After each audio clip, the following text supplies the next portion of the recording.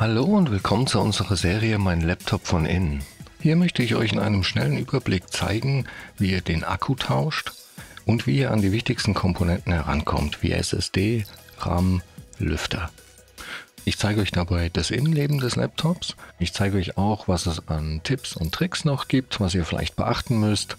Und dass es im Grunde genommen nicht so schwer ist, einen Laptop aufzuschrauben und an die einzelnen Komponenten heranzukommen.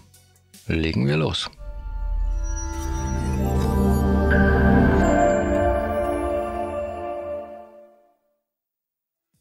So, wir haben hier ein HP-Laptop und zwar ein 250 G8 und ich zeige euch auch gleich, wie ihr an die genaue Modellnummer herankommt.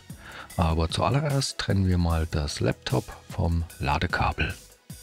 Die genaue Modellnummer finden wir bei diesem Gerät auf der Rückseite und zwar hier ziemlich schlecht zu lesen und mit dieser Nummer findet ihr auch auf unserer Shop-Seite sehr einfach die Ersatzteile. Generell kann man noch sagen, dass ein Displaytausch hier relativ einfach ist. Man muss dafür nur den Frontrahmen abnehmen und kann das Display dann tauschen. Die Tastatur und das Touchpad kommen zusammen mit dem Topcase und dafür muss man dann alles aus dem Gehäuse nehmen. Um das Laptop jetzt zu öffnen, muss man diese Schrauben hier außen öffnen. Und auch unter den Gummischienen sind eben Schrauben versteckt. Das heißt, die muss man erst abziehen. Kann man einfach drunter greifen. Sollte das mal mit dem Finger nicht so gut gehen, kann man einfach eine kleine Hilfe nehmen, da ein bisschen drunter hebeln und das dann versuchen vorsichtig um, zu lösen. Ähm, da muss man nur aufpassen, dass man das samt dem Klebeband erwischt und nicht die Gummischiene vom Klebeband trennt. Und ja, dann nimmt man die beiden Gummischienen einfach ab. Man kann sie auch temporär ganz leicht hier auf das Gehäuse draufkleben und dann die Schrauben lösen. Die Schrauben unter den Gummischienen sind ein bisschen länger als die beiden vorderen, die sollte man also getrennt aufbewahren. Zum Öffnen habe ich hier ein Universalwerkzeugset benutzt. Da sind alle gängigen Schrauben und auch Aufsätze mit dabei. Sehr praktisch. Ich verlinke euch das auch in der Videobeschreibung, falls ihr da Interesse habt. Und als Aufsatz nehme ich hier einen Kreuzschraubendreher und zwar ein PH0. So, dann wollen wir mal schauen, wo genau das Gehäuse eigentlich mit der Gehäuseunterseite verbunden ist. Denn da müssen wir dann rein, um es aufzuhebeln. Und hier zum Beispiel kann man die Trennlinie ganz gut sehen.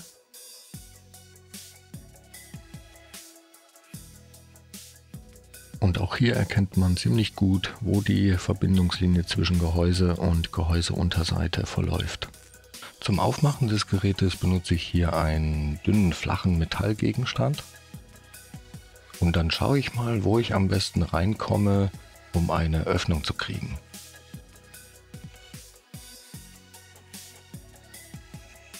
In dem Fall fange ich jetzt mal auf der Geräterückseite an. Und dann versuche ich die Gehäuseunterseite ein bisschen nach oben zu hebeln. Äh, mit ein bisschen Wackeln und hin und her rutschen funktioniert das immer ganz gut. Und ja, das laute Knacken gehört dazu. Das ist einfach, wenn die Unterseite aus den Einraststellen äh, gelöst wird. Dann knackt und knirscht das manchmal, das ist aber normal. Da braucht man keine Angst zu haben, was kaputt zu machen. Wenn es irgendwie gar nicht geht, dann nicht mit Gewalt. Lieber nochmal schauen, ob alle Schrauben raus sind oder ob man da vielleicht vergessen hat, eine zu lösen. Und ja, dann kann man eigentlich auch schon mit der Hand meistens drunter fassen und das mit ein bisschen rütteln und hin und her bewegen ähm, einfach abziehen. Und ja, ich bin jetzt hier super vorsichtig, aber nicht, weil man was kaputt machen kann, Einfach nur, weil ich das Metallgehäuse auf keinen Fall verkratzen will. Das heißt, ich versuche möglichst gerade in die Öffnung reinzukommen und dann lediglich mit ein bisschen hoch und runter wippen, das dann zu öffnen. Und deswegen dauert das auch hier ein bisschen länger. Und das ist jetzt im Grunde genommen das gleiche, was ich auch davor gemacht habe. Wie gesagt, alles sehr langsam und sehr vorsichtig. Und dann hat man das irgendwann ohne Kratzer abgetrennt. So, jetzt da wir die Unterseite gelöst haben, könnt ihr sie auch mal von innen sehen. Und so sieht dann das Gerät von innen aus. Gut, bevor wir jetzt irgendetwas weiteres machen, trennen wir aber auf jeden Fall erst einmal den Akku vom Mainboard, dass das Gerät auch wirklich keinen Strom mehr hat. Und den Akku sehen wir hier. Und der ist in dem Fall direkt auf dem Mainboard mit verbunden. Das heißt, wir nehmen den Akku komplett raus. Dazu lösen wir diese Schrauben hier und dann haben wir gleich zwei Fliegen mit einer Klappe. Den Akku kann man einfach aus dem Gerät nehmen dann und eben auch gegebenenfalls ersetzen. So, was können wir noch sehen? Wir sehen hier noch Platz für eine 2,5 Zoll Festplatte. Die würde dann über einen Adapter hier mit dem Mainboard verbunden werden, wobei man das Adapterkabel oder Set extra dazu kaufen muss. Hier sehen wir den RAM. Da ist die SSD. Hier sehen wir den Lüfter und den Heatsink, der die CPU kühlt. Und hier noch das WLAN-Modul. Um den RAM-Riegel, der hier ist, auszutauschen, muss man eigentlich nur diese beiden Klammern an der Seite so ein bisschen nach außen schieben. Dann springt er einem förmlich entgegen man kann den dann einfach rausnehmen und austauschen. Beim Wiedereinbau steckt man den einfach genauso wieder rein und drückt den nach unten, bis die Klammern wieder einrasten.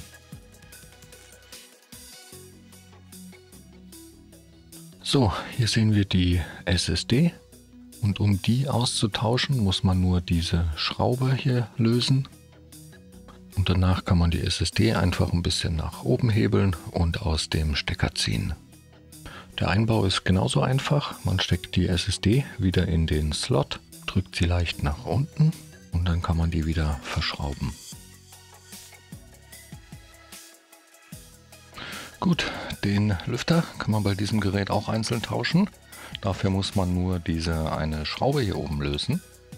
Und natürlich muss man auch das Lüfterkabel selber trennen. Das verläuft hier. Und ja, um da einfach ein bisschen mehr Platz zu haben, machen wir hier dieses Breitbandkabel weg. Und dafür muss man diesen Stecker hier aufklappen. Das ist nämlich ein Kippstecker, den klappt man nach oben und dann kann man das Kabel rausziehen.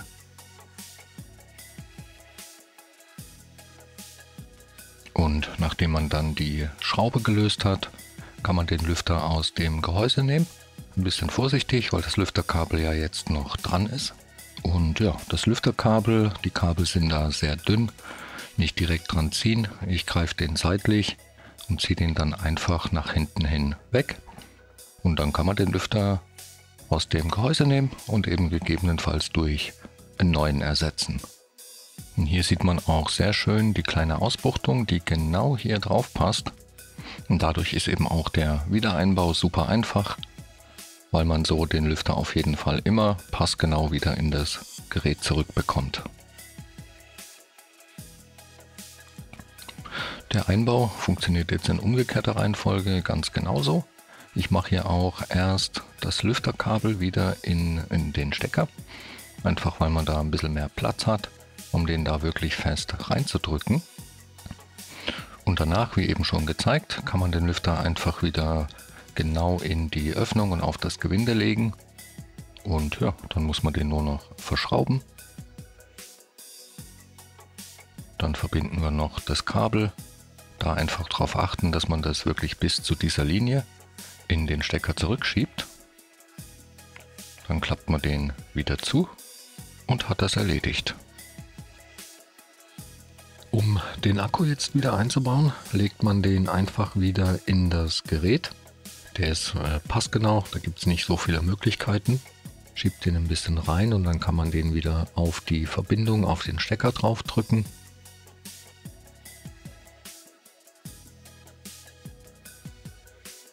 Dann natürlich noch verschrauben und so einfach ist das. So, die Gehäuseunterseite wird jetzt einfach wieder drauf gedrückt. Und ja, da kann man ruhig ein bisschen äh, kräftig alle Stellen wirklich zudrücken, äh, auch in der Mitte.